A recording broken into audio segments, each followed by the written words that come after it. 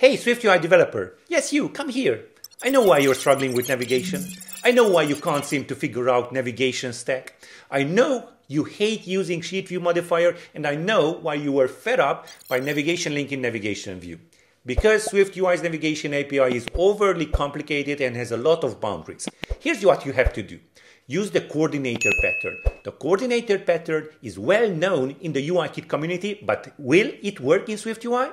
So in this video, I'm going to show you how you too can build a simple coordinator in SwiftUI. And make sure you check out SwiftUI Camp. The link for a 50% off is in the description. We are going to start off really soon. February the 1st is uh, when we are closing the gates. And um, yeah, if you want to master SwiftUI in six weeks, then SwiftUI Camp is for you. I've been talking quite a lot about SwiftUI Camp. So yeah, uh, and also what we are going to uh, build out today is inside the camp. So go ahead and check it out. The link is in the description. So uh, what are we going to build out today? Well, uh, I do have kind of this demo, well, starter project and uh, my demo application right over here. So we want to make sure that uh, we are uh, doing navigation easily and we are going to use the coordinator pattern. This is re uh, really used in UIKit. Now, can it be used in SwiftUI? Yes, indeed, it can be used. Now, what we are going to build out today is just a simple navigation. Of course, if you do want a more advanced level, then go ahead and check out Swift UI Camp. So what we are going to do here is just push and then maybe push another, just pop and pop back. Of course, all of uh, the default back buttons uh, work and then we can just pop to root just like that. We also want to present, we can just slide down that sheet or dismiss it. And we want to also be able to present a full screen cover and then on the tap of the button dismiss. And of course this can be done with navigation stack and the sheet view modifier and all of that stuff. But what I want to show today is the coordinator pattern and how much easier it will be for you to use it. Okay, so make sure that you download, well, go ahead and check out the resources link and uh, there will be the GitHub repo and make sure that you start off with the starter uh, branch there and you will see some views here the apple view the banana carrot lemon and olive view now uh, on the app uh, file I just added apple view now, we want to present these views according to uh, the navigation that I have showed you. So what we are going to start off building is a coordinator. So uh, what I'm just going to start off right over here. Let's create a new file. So uh, that would be a Swift file. And by the way, on, on these uh, uh views, I just have buttons. Uh, you know, they're just placeholders, so I don't have to type this out uh, during the video. So I'm going to name this coordinator and uh, let's click on next right over here. Uh, let's have some more room. And uh, what I want to import here is Swift UI because that will be an observable object. But before we uh, actually create our coordinator, uh, let's just talk about how we are going to navigate. Where I'm going to use some enums because yeah, I, I really love enums. Uh, they are really nice to have when we are going to navigate. So let's create our page enum. Let's have an enum called page of type string and identifiable. Let's have some cases right over here. I'm going to go with the apple and then banana. There we go, banana. And then carrot. Okay, and for the identifiable part, we must adhere to that. So I'm going to create an ID of type string, and let's have self dot raw value for that. So we are going to have uh, these uh, three cases. And uh, then I want to also create some sheets. So for, for that, well, actually I'm going to have only one sheet, but I'm just going to copy this out. Uh, have a sheet right over here, string identifiable, and uh, for the case, I'm going to have a lemon. And the same goes, well, actually, it's quite the same for our full screen cover. So, full screen cover. And you will see uh, in just a second why I need uh, these to be separate. And for this full screen cover, I'm going to go olive. Okay, so I kind of uh, maxed out all of uh, my views right over here.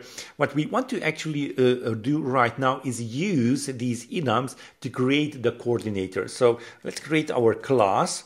It will be named coordinator of type observable object. And we want to, uh, this to be an observable object because I'm going to add in some published variables here. So published uh, var. First of all, I'm going to create our path for our navigation stack and that will be a navigation path. After I set up the path, I want to set up an optional sheet and an optional full screen cover. So let's do that right over here. So published var sheet uh, and that will be of type sheet optional and another published variable called full screen cover of type full screen cover optional. Yeah, that's because we are, we might present them and uh, it's an easy way to dismiss them when we are going to set that back to nil.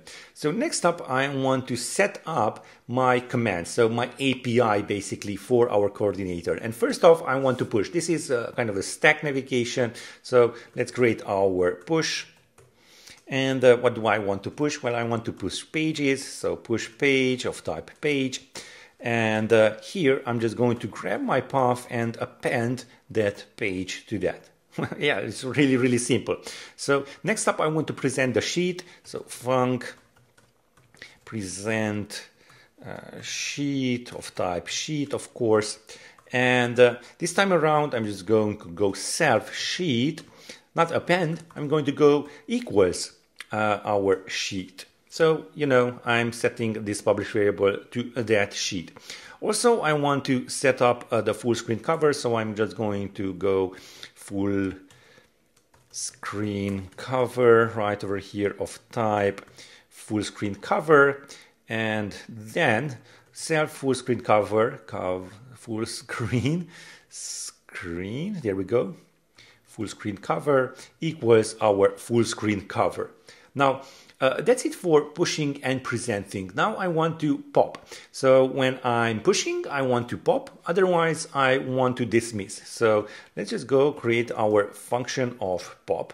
And uh, it shouldn't really matter uh, what I'm popping uh, because I'm just going to go path dot remove last. That's it. And if I want to pop back to root, I just go function pop to root and that's again on the path dot uh, remove last. And in our case we are going to go path dot count. So we are just going to remove uh, everything from our path. Now it's time to dismiss the sheet. So func dismiss sheet. Okay and that is self dot sheet equals nil. I told you so. And then i want to dismiss the full screen cover. So dismiss full screen cover. There we go. And then self full screen cover equals nil. Okay, those these are the APIs. It's really straightforward and it's really like you know uh, uh, usable. It's not like with the full uh, the sheet modifier, the full screen modifier combined with the navigation destination and the path. You know, a lot of you know uh, uh, confusing stuff, not, not a streamlined API. And this is what we are trying to do here with the coordinator pattern. Okay, so next up, we want to set up our views. So for that, I'm going to create some views. And uh, because, uh, of course, these are different views, I'm going to use the view builder, func, and let's just go with build and a page of type page and uh, it will be of some type of view because again those are different types of view I'm just going to switch through all of the pages and uh, here we go in case apple I just go apple view banana I just go banana view carrot uh, carrot view and that's it. Now I have to do the same for the sheets and the full screen cover, which is uh, quite easy to do. Let me just copy this out. I'm just going to reuse a lot of code here. So sheet, I'm going to uh, uh, build out a sheet of type sheet and then switch sheet. Uh, uh, we are going to have only the lemon. I'm going to remove this that will be our lemon view and uh, kind of the same goes for our full screen cover so full screen cover and then full screen cover and for the full screen cover, we are going to have the olive, if I'm correct, and I'm going to add that olive view right over here. Okay, so that's our coordinator. We, we have everything in place. Now what we need to do is just use this coordinator. And we are going to create a coordinator view that will be our uh, main view that we are going to launch upon start. So let's create a new file and let's create a Swift UI view. Let's click on next, coordinator view. There we go. And uh, first thing first, uh, I want to uh, initialize, well, create our coordinator. So private state object, coordinator of type coordinator. Okay, so we, we got that. And then I want to create a navigation stack, navigation stack with a path and a root because, you know, we do have a path. So for the path, I'm going to go dollar sign because we are binding coordinator dot path. And for the root, now here comes the interesting part. For the root, I'm going to build a page that I want the root to be. So I just go coordinator dot build. And as you can see, we are having uh, these, you know, uh, really nice functions. Build a page and page dot, and I choose Apple to be my root uh, uh, view. And then I want to set up our navigation destinations for this navigation stack. So navigation destination for, and uh, what is it? Well, it is a page dot self destination. We are going to get back a page and then what do we want to present? Again, we are going to use those nice build functionality, build page of page. And now we have navigation stack set up. Okay, what about the sheets? Well, we just go sheet. I'm going to use the item. That's why I chose to be identifiable. Okay, and uh, let's just go with the item dollar coordinator dot and sheet. That's why it has to be a published variable because we are binding it right over here. And for the content, we're going to get back a sheet. And again, we are going to build that view with the coordinator dot build sheet uh, sheet. Okay, the same goes for the full screen cover.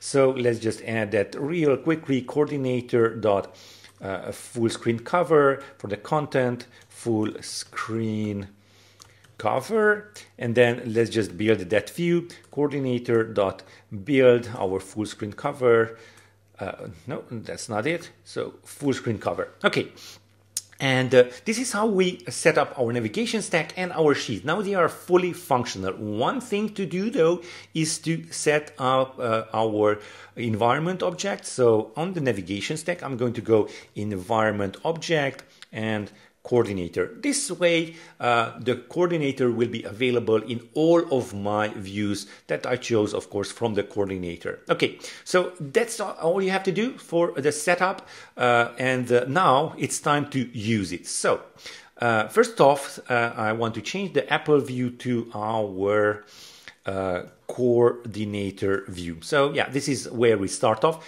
Let's build and run and see if we actually do have the Apple view uh, being presented. Let's just wait for that. There we go. We have our Apple View push, present. Of course, none of these work because we are going to implement that uh, right now. So let's just go into the Apple View. There we go, our three buttons and the navigation title. So we want to push the banana view. Okay, so first things I want to add is a private environment object of coordinator uh, of type coordinator. And this is the one-liner that you want to add to all of your views in order to access the coordinator. So I'm just going to add them here real quick. So the banana view, carrot view, uh, lemon view, basically uh, all of it, olive view, and yeah, basically that's it. So on the Apple view, when I want to push a banana view, I just go coordinator dot push and I want to select the page. In our case, it's the banana. Let's check that out. Let's see how uh, that looks like. So we are just going to push There we go. It's really, really nice. And we can just go back uh, with the default back button. Of course, the pop and the next push is not set up on the banana just yet.